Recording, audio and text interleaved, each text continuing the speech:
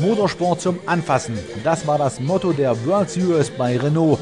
In Oschersleben machte die Serie am vergangenen Wochenende ihren einzigen Halt in Deutschland. Neben den Rennautos des Renault Formel 1 Teams waren auch Fahrzeuge verschiedenster anderer Klassen zu sehen. Mehr als 60.000 Rennsportbegeisterte Zuschauer kamen in der Motorsportarena Oschersleben aus ganz Deutschland zusammen. Bei wechselhaftem Wetter konnte man neben schnellen Autos auch Einblicke in die Fahrerlager und Boxengasse erhalten. Interessiert verfolgten die Besucher das Schrauben der Mechaniker an den Rennboliden. Insgesamt fünf Rennserien bildeten an diesem Wochenende das motorsportliche Programm. Die Fahrzeuge, die man auf der Rennstrecke sehen konnte, gibt es auch in stark abgespeckten Straßenversionen. Geht los bei einem Clio Sport äh, mit 2 Liter oder mit 3 Liter sogar mit 190 260 PS oder der Megane Sport mit äh, 224 PS. Und genau diese Fahrzeuge können Sie auch beim Händler bestellen. Und das heißt eben serienmäßig tauglich für Straßenzulassung und so weiter und so fort. Aber ansonsten von der Motorisierung her, also äh, identisch wie die, die in der Rennserie laufen. Ja. Der Veranstalter Renault Motorsport hatte dieses Event so geplant, dass die Zuschauer keinen Eintritt zahlen mussten. Riesenrad, Parkplätze und Begrüßungspaket waren inklusive.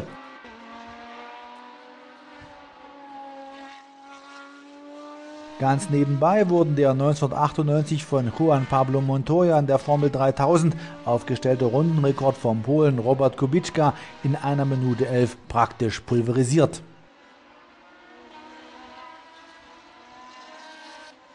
Dem immer größer werdenden Wunsch der Kundschaft nach getunten Fahrzeugen versucht man auch im Handel gerecht zu werden. Da sind wir auch schon über einen längeren Zeitraum dran. Das heißt, wir haben einen geschulten Mitarbeiter, der sich auf Tuning, im Tuning-Bereich äh, spezialisiert hat. Das heißt, wir bieten nicht nur Fahrzeuge von der Stange an, wie man so schön sagt, sondern auch individuell ausgestattete Fahrzeuge, äh, sprich von, von Kitsätzen über sportlichen Design, über zum Beispiel aber auch in den neuester, äh, was das Neueste ist, was wir mittlerweile machen, ist auch im Gasbereich, Fahrzeuge umstellen auf Gasbetrieb und so weiter. Also beide Varianten, sportlichen Bereich und auch äh, das tägliche eben, diesen Gastbereich, äh, der immer mehr zunimmt. Die Renault Megane Trophy war einer der Höhepunkte der Veranstaltung. In dem dichten Fahrerfeld von über 30 Fahrzeugen kam es zu spannenden Positionskämpfen. Mit besonders großer Erwartung startete das Team Racing for Belgium, das am Sonnabend beim Qualifying ein gutes Rennen fuhr.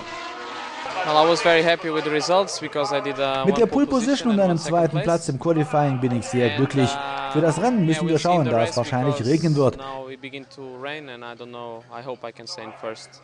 Ich hoffe, wir können Erster bleiben. uh, Seit 1999 bin ich schon mehrere Mal in Oschersleben gefahren und ich mag diese Strecke wirklich sehr.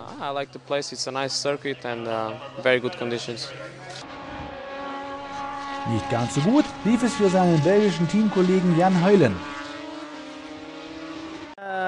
Es war ein schwieriger Tag für mich. Ich konnte nur einen dritten und einen sechsten Platz im Qualifying herausfahren.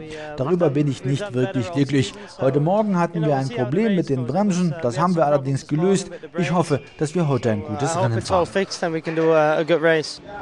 Am Ende schaffte es Halen nur auf Platz 6 im Rangklassement. Dagegen konnte Cesar Campaniccio am Sonntag seinen ersten Sieg der Saison aus der Pool nach Hause fahren. Michael Ammermüller rollte im Formel Renault 2,0 Eurocup bei den World Series von Renault wieder auf Erfolgskurs. Obwohl es phasenweise ganz schön eng wurde, zeigte der Jenser Pilot in Oschersleben einen lupenreinen Start-Zielsieg und hat allen Grund, mit seiner Leistung zufrieden zu sein.